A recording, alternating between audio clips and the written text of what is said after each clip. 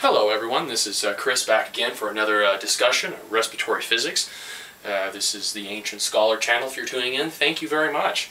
Today I'm going to talk about, or now I'm going to talk about another gas law. We've talked about Boyle's law, Charles' law, we talked about how to convert um, Celsius to Kelvin, just add 273 because 273 Kelvin is 0 degrees Celsius, so real nice conversion factor there. Um, we've talked about Boyle's law, and Charles' law, and of course we talked about the ideal uh, gas equation uh, much earlier on. And all of these laws are subsequently derived uh, from the ideal gas equation. So what I'm going to talk about today is Gay-Lussac's law, and uh, how do I keep this straight? Well, if you remember Boyle's balloon, Charles Celsius, and Charles' law is volume and temperature with the assumption that pressure remains constant. So pressure doesn't change when we use Charles' law. And basically, it's V1 over T1 equals V2 over T2, or if I cross multiply that and rearrange it, it's V1 times T2 equals T1 times V2, V being volume, T being temperature. Basically what that says is, as temperature increases, volume increases, as temperature decreases, volume decreases, and vice versa. And you're more than welcome to watch the, the video on that if, if, if you need some refreshing. So Charles Celsius is how I remember this, and I remember Gay-Lussac's law as being Charles' gay brother. Gay-Lussac's law is Charles' gay brother. And in that, I mean that they are related, in, in conceptual related. And the formula for Gay-Lussac's law is P1 over T1 equals P2 over T2. So, pressure 1 over temperature 1 equals pressure 2 over temperature 2. And what remains constant in Gay-Lussac's law? Well, what remains constant is volume. Whereas in Charles' law, pressure remains constant. So you can see how there's that, that relation and it's real easy to get these mixed up. I just remember that Charles talks about volume, Gay's talks about pressure, and that Gay-Lussac's is Charles' gay brother. They're related. They go hand in hand.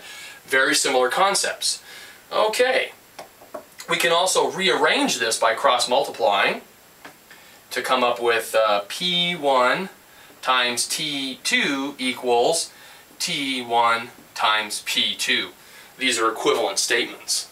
Okay, so how do we uh, how do we work through a, a Gay-Lussac's law problem? Again, we need to realize or recognize that Gay-Lussac's law is talking about pressure and temperature, and that if it, it's asking about volume and temperature, that's a, that's Charles' law, different calculation. So most of the most of the, the problem comes in in deciding which gas law to use.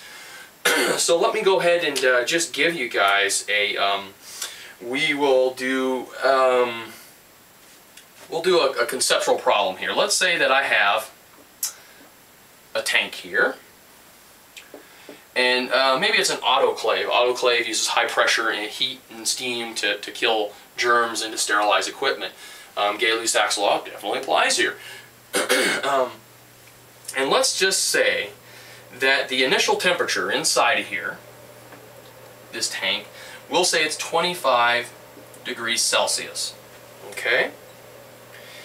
And the pressure inside of here is 1.5 atm, atmospheres, okay? And remember, an atmosphere, 1 atm equals 760 millimeters of mercury, right? Um, every So just to know what the conversion is. And just as a side note, every 33 feet of water, approximately every 33 feet of water equals one atmosphere. So if I go under 33 feet of water, I'm actually under two atmospheres because I have an atmosphere above me and then another atmosphere um, of the water. If I go 66 feet of underwater, I'm under three atmospheres. That's just kind of a nice little pearl of knowledge uh, that'll help you out. And then what I do Okay, so this is condition A, right? At 25 Celsius, 1.5 atmos atmospheres of pressure in there. Now, I turn that autoclave on, and it heats up. I heat that thing up. And the new temperature is 323 degrees Celsius. So it's, it's smoking hot inside of there. And what I want to know is what is the new pressure? What is the new pressure inside of there?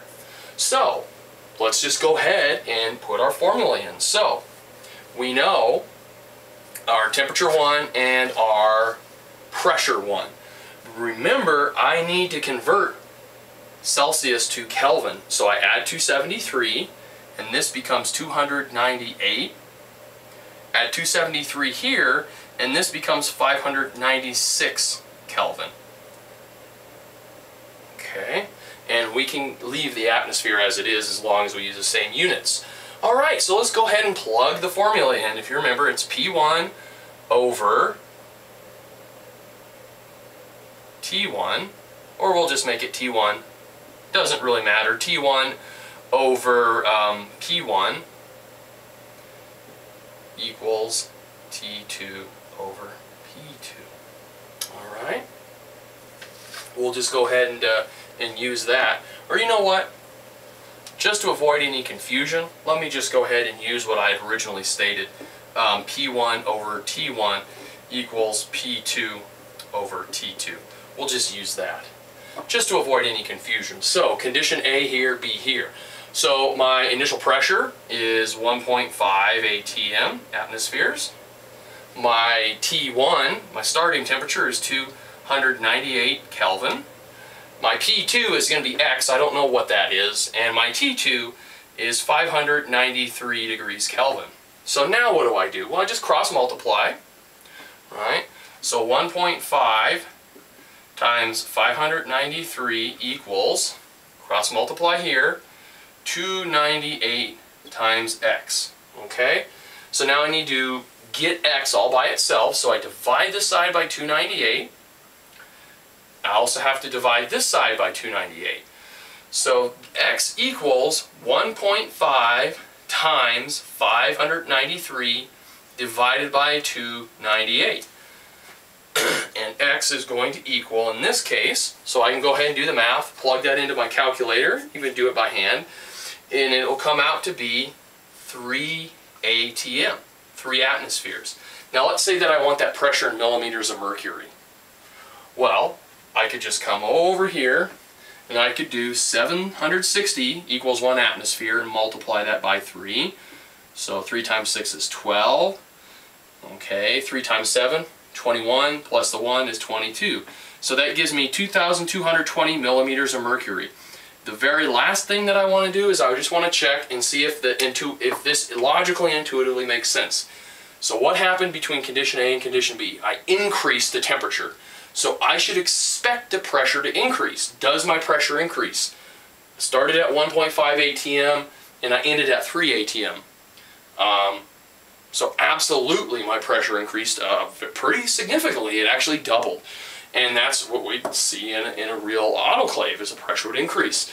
Uh, another thing they love to throw on tests is if you leave an oxygen tank out in the sun and it warms up, and the pressure on the gauge increases, what law is that? And a lot of people are like, oh, it's Charles' law. No, didn't ask anything about the volume. It asked about the pressure inside of the tank. The pressure increased, so it's actually Gay-Lussac's law. I actually had that question on a, um, a flight nursing exam, a board exam.